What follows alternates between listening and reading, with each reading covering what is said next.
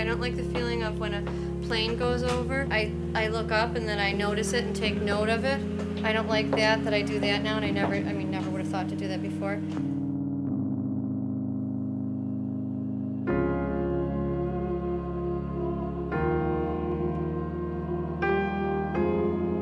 After the, um, the incident of September 11th, it kind of changed things around.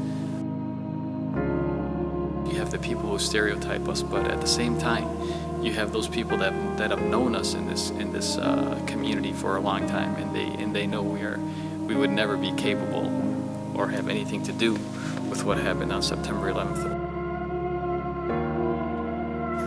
But oh, they all say, oh, they won't do that. You don't know what they're gonna do.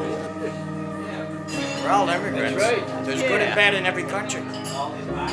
Just so happens in Lackawanna, there's a lot of bad.